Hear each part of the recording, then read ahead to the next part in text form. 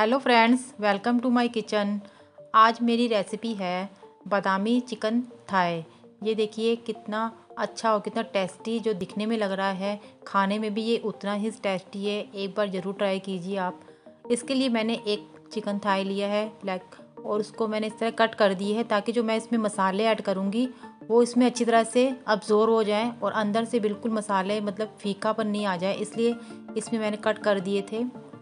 इसके लिए मैंने सबसे पहले नमक ऐड किया है और इसके बाद हम इसमें लाल मिर्च ऐड करेंगे। लाल मिर्च ऐड करने के बाद पिसी हुई काली मिर्च वो ऐड करेंगे हम इसमें। पिसी हुई काली मिर्च वो ऐड करने के बाद हम आधा नींबू लेंगे, उसका रस ऐड करेंगे इसमें। ये देखिए, आधा नींबू का रस इसमें पूरा ऐड कर देना है अच्छी तरह से। इससे नींबू के रस से इसका जो फ्लेवर है बहुत ही अच्छा आता है। इसलिए इसमें नींबू का रस ऐड करने के बाद आप इसको अच्छी तरह से हम मसाले को अच्छी तरह से मिक्स कर देंगे और 15-20 मिनट के लिए हम इसी तरह इसको रहने देंगे और बाकी के जो इसमें मसाले जो ऐड करने हैं, वो 15 मिनट के बाद ही हम ऐड करेंगे। ये देखिए नींबू का रस भी और जो हमने लाल मिर्च और नमक और जो पिसा हुआ काली मिर्च इसमें ऐड की थी, वो इसमें ऐड करके 15 मिनट के लिए हम ऐसे रख देंगे। और उसके बाद हम इसमें मसाले ऐड करेंगे। 15 मिनट तो हो गए हैं। अब इसके बाद हम जो कुछ मसाले इसमें और ऐड करेंगे। मैंने एक चम्मच लिया है। लहसुन अदरक का पेस्ट लिया है मैंने। उसको ऐड कर देंगे। और मैंने लिए हैं कुछ बादाम। बादाम इसमें जो है छः सात बादाम को मैंने क्रश कर लिया है। ये देखिए इस तरह इस बादाम को ज़्यादा क्रश नहीं करना है। बारीक इतना ही क्रश करना है। थोड़ा दरदरा रहना, बादाम को दरदरा ही रखना है हमें। ये देखिए इस तरह। और मेन इसका जो है डिश में हम इसका नाम दिया है, हमने बादामी चिकन थाए तो इसमें बादाम तो अच्छे तरह ही हमें इस मिक्स करने हैं। और आधा चम्मच इसमें ऐड किया है मैंने chicken masala. Chicken masala add करने के बाद अब इसमें हम कॉर्नफ्लोर ऐड करेंगे। कॉर्नफ्लोर ऐड कर, एक ही चम्मच हमें ऐड करना है। कॉर्नफ्लोर ऐड करने से जो हम इसमें मसाले ऐड कर रहे हैं, वो इसमें अच्छी तरह से चिपक जाएँगे और जब इसको फ्राई करेंगे तो बहुत ही अच्छा टेस्ट आएगा। और मैंने थोड़ा सा गरम मसाला लिया है। गरम मसाला इसमें ऐड कर देंगे। अब लेंगे हम टू स्पून लेंगे दही, जिसमें पानी नहीं होना चाहिए, इसको फैट लेंगे। इसमें बिल्कुल भी पानी नहीं होना चाहिए दही में। और इसको अच्छी तरह फैट के इसमें ऐड कर देंगे।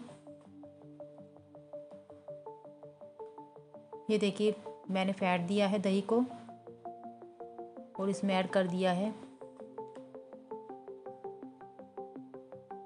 अब दही ऐड करने के बाद हम इसको अच्छी तरह से मिक्स करेंगे। मसाले को अच्छी तरह से मिक्स करेंगे हम। सभी मसालों को हम इसमें अच्छी तरह से मिक्स कर देंगे और मिक्स करने के बाद हमें दो घंटे के बाद ही फ्राई करना है। दो घंटे के बाद फ्राई करने से जो इसमें जो मसाले हैं जो हमने जो मैरिनेट किया है इसको, वो अच्छी तरह से इसमें मिक्स हो जाएँगे मसालों के साथ। ये देखिए दो घंटे हो चुके हैं, ये अच्छी तरह से मैरिनेट हो चुका है। अब मैंने एक पैन लिया है, ग्रिल पैन लिया है, ये नॉन स्टिक है, उसमें मैंने ऑयल दो तीन बूंदे थोड़ी सी ऑयल की लग, रख दी है उसमें मैंने। अब उसको हम, इसको हम उसमें फ्राई करेंगे। ये देखिए मसाले कितनी अच्छी तरह से इसमें चिपक गए हैं। मैंने इसमें थोड़ा सा ही ऑयल ऐड किया है, क्योंकि ये नॉन स्टिक है ग्रिल पैन और गैस का फ्लेम मैंने मीडियम ही रखा है, ज़्यादा तेज़ भी नहीं रखा और ज़्यादा कम भी नहीं रखा मीडियम ही रखना है। और 10-15 मिनट हमें इसको पकाना है, दोनों साइड से पकाना है हमें इसे। ये देखिए, इसमें जो मसाले हैं, कितनी अच्छी तरह से इसमें चिपक गए हैं। अब 10-15 मिनट होने के बाद हम दूसरी साइड इसको पलट देंगे। ये आप देख सकते हैं, इसका टेस्ट बहुत ही अच्छा आता है। एक बार आप बनाकर ज़रूर ट्राई कीजिए। बादामी चिकन लेग थाए मैंने दूसरी साइड इसको पलट दिया है और देख सकते हैं आप, इसमें मसाले जो हैं बिल्कुल अच्छी तरह से चिपक गए हैं और कम ऑयल में ही ये फ्राई हो जाता है। और बिल्कुल रेडी हो गया है ये बनकर।